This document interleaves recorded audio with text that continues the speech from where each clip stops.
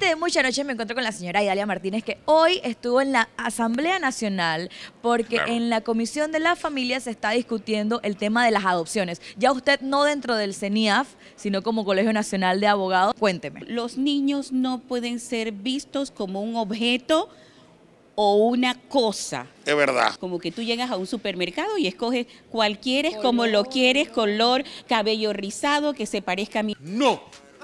No y no.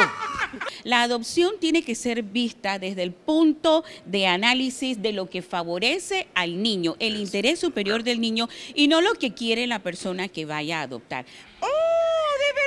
Me encanta que lo que habíamos nosotros manifestado, por ejemplo, casi dos años de gestión que estuve como directora general, ahora se esté considerando. ¿Qué? De que los jueces no pueden intervenir en el tema de adopciones hasta cuando CENIAF envíe todo lo que ha sido el procedimiento administrativo realizado en esta institución. ¿Cómo así? Me gusta muchísimo que lo que nosotros habíamos señalado, que el Estado panameño es la autoridad central en materia de adopciones en la institución de la CENIAF, lo que es la Dirección Nacional de Adopciones, ahora se esté tomando en cuenta.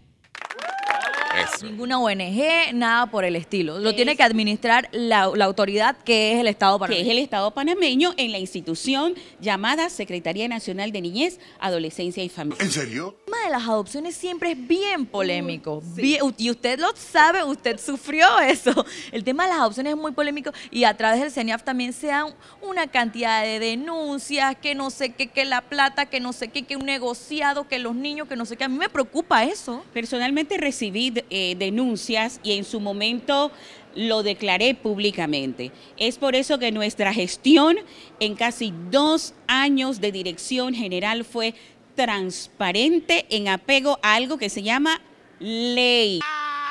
¿Cómo así? Ni por influencia, ni por una llamada telefónica. Ni por plata. Ni por plata, ni por nada, ni porque haga esto o haga lo otro, o dele este niño a aquel, o dele este niño a la... No. CENIAF, durante nuestra gestión, actuó de manera pulcra que actuaba en estricto apego a la ley y eso no le gustó a algunas personas del gobierno. Varela, el pueblo primero. Yo he estado cerca de ciertos hogares que me dicen, pero es que aquí me traen niños, pero no hay nada de recurso económico para que esas organizaciones puedan mantener a, los niños que lo hacen con mucho cariño, pero que que hay instituciones no gubernamentales que hacen una labor excelente. Yo misma también en nuestra gestión así lo reconocimos. Sin embargo, hay otras que no cumplen con los requisitos, que no tienen personería jurídica, que no han sido reconocidas por CENIAF como establece el decreto correcto. Entonces quieren atender temas de niñez y de familia, pero primero vayan a cumplir con los requisitos. vamos a dejarlo hasta ahí. Muchas gracias, no hay tiempo para más.